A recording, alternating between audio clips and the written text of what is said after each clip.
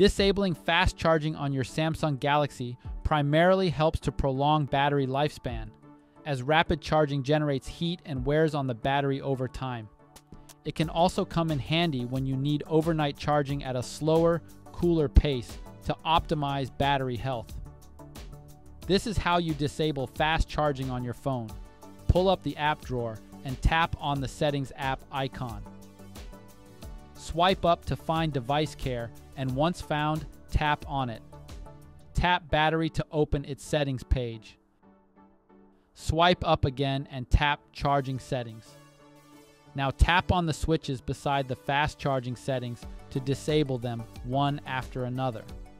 After doing that, your phone will start to charge normally, which is recommended if you often leave it connected to the power brick overnight. The next time you want your phone to charge faster again, just follow the same steps and re enable the switches. We hope this guide has been helpful. Thanks for watching.